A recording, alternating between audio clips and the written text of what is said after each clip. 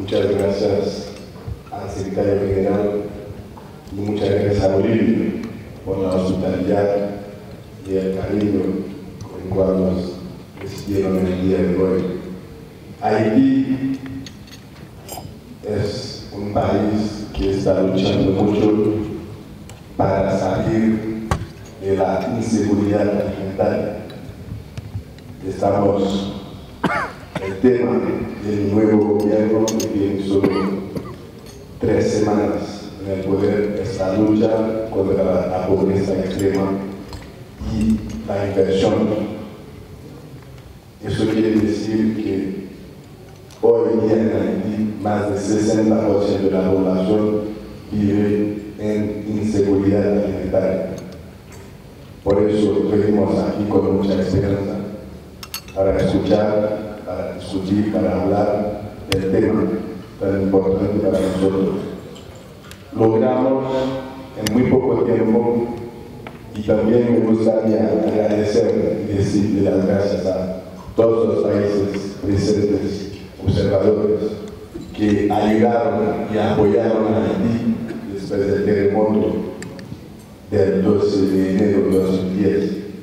Y también me gustaría darle las gracias a la OEA por haber defendido la democracia en Haití y la democracia y el Estado de Derecho por cual estamos aquí presentes hoy.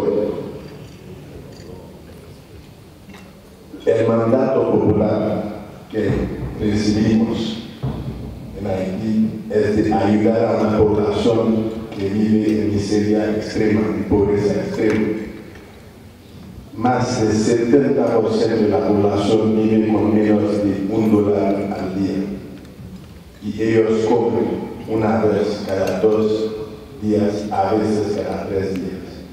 Es una situación muy difícil y nosotros venimos con proyectos concretos, con una política que va a luchar contra la pobreza extrema, que va a luchar contra la desigualdad y que va invertir en una política de ayudar a los agricultores, los campesinos, para salir de esta situación, para invertir en los campos, para invertir en una política distinta a la política que se estaba haciendo.